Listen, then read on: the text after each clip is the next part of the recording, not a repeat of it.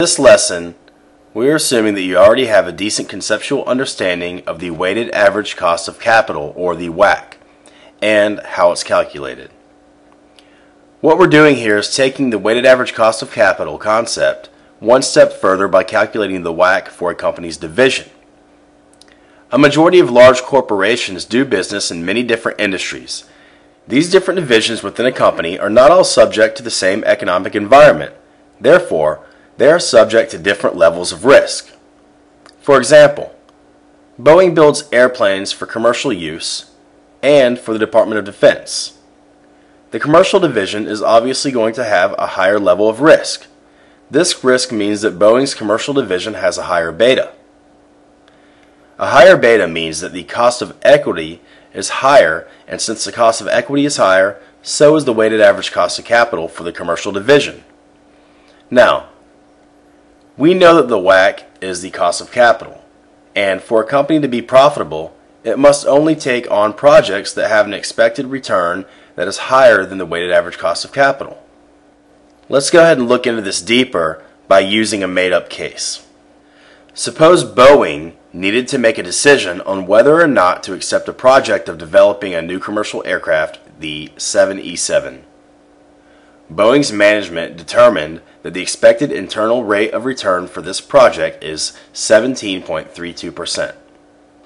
Boeing's company weighted average cost of capital is 11.13%, which is significantly lower than the internal rate of return for the 7E7 project.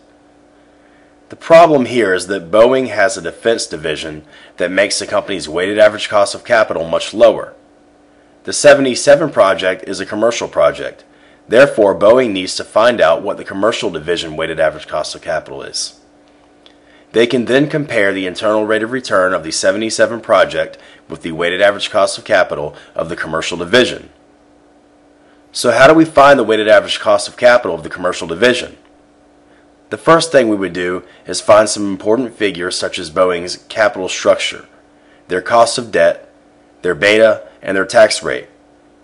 We would also need to find the market risk premium, which is determined by the risk free rate, and the market rate of return.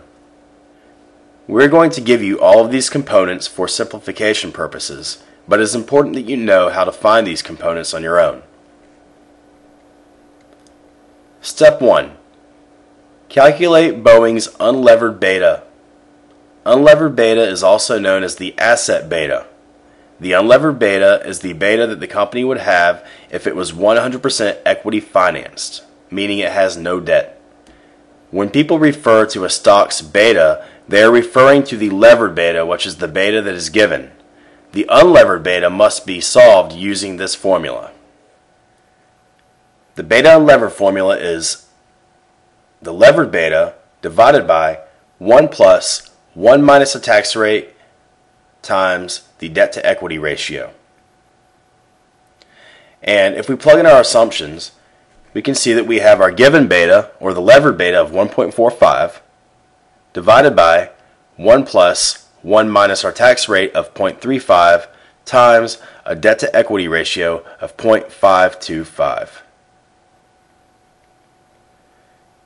This gives us a beta unlevered of 1.0811. Step 2. Calculate the unlevered beta for the defense division of Boeing. Now that we know Boeing's unlevered beta, we need to find the unlevered beta of Boeing's defense division. We do this by finding companies that are similar to Boeing's defense division and solve for their unlevered betas. For this purpose, these companies are known as proxies. We then average their unlevered betas. The average unlevered betas of our proxies will be Boeing's Defense Division's unlevered beta. So now what we have to do here is find Defense Division proxies, calculate unlevered betas, and average their unlevered betas to get Boeing's Defense Division's unlevered beta. The proxies that we are going to use are Lockheed Martin and Northrop Grumman because they are defense contractors that operate in industries most closely related to Boeing. Here you can see that we use the unlevered beta formula to solve for Lockheed Martin's unlevered beta and Northrop's unlevered beta. Then we just average the two betas to find Boeing's defense unlevered beta. Step 3. Calculate the unlevered beta for Boeing's commercial division. Now that we know an estimate of Boeing's defense division's unlevered beta, we are able to calculate the unlevered beta of the commercial division. We already know the unlevered beta for Boeing, the weights in which Boeing operates, 46% in defense and 54% commercial, and the unlevered beta for the defense division, which is 0.2296. So now, to solve for the beta unlevered, we take the weight that Boeing operates in commercial and multiply it by the unlevered beta of the commercial division, and then we add that to the weight that Boeing works in the defense division and multiply it by the unlevered defense division beta. Now, if we rearrange this formula, we'll find a formula for the unlevered beta for the commercial division. So now we've rearranged it and we have the beta unlevered minus the weight in defense times the unlevered defense beta all over the weight that Boeing works in the commercial sector. Now we plug in our inputs and we have a commercial unlevered beta of 1.8063. Step 4. Calculate Boeing's commercial division levered beta. Now that we have the unlevered beta for Boeing's commercial division, we are able to calculate the levered beta of Boeing's commercial division. We would simply plug in the correct inputs to the formula. Step 5. Calculate the commercial cost of equity. Now that we have the levered beta for Boeing's commercial division, we can calculate the cost of equity using the capital asset pricing model. The capital asset pricing model is the cost of equity equals the risk-free rate plus beta times the risk of the market minus the risk-free rate, which is the market risk premium.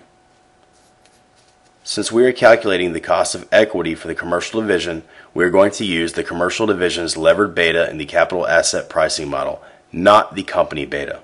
So now if we plug the correct inputs into the capital asset pricing model, we find that Boeing's commercial division has a cost of equity of 21.86%. Step 6. Calculate the weighted average cost of capital for the commercial division. Now that we have the cost of equity for the commercial division of Boeing, we can calculate the weighted average cost of capital for Boeing's commercial division. In order to get the WACC, we need to know the percentage of capital that was funded with debt and the percentage of capital that was funded with equity. We know that our debt to equity ratio is 0.525. We can manipulate the debt to equity ratio to find Boeing's capital structure. We do this by making the debt to equity ratio equal x over 1. Debt equals x and equity equals 1. We know that the value of a company is debt plus equity. So the value equals x plus 1. And then we know our weight of debt would be x over x plus 1, and our weight of equity would be 1 over 1 plus x. When we do this, we find that our capital structure is 34.4% debt and 65.6% equity. We know the weighted average cost of capital formula is weight of debt times cost of debt all times 1 minus the tax rate plus the weight of equity times the cost of equity for the commercial division. Now we need to plug in the inputs.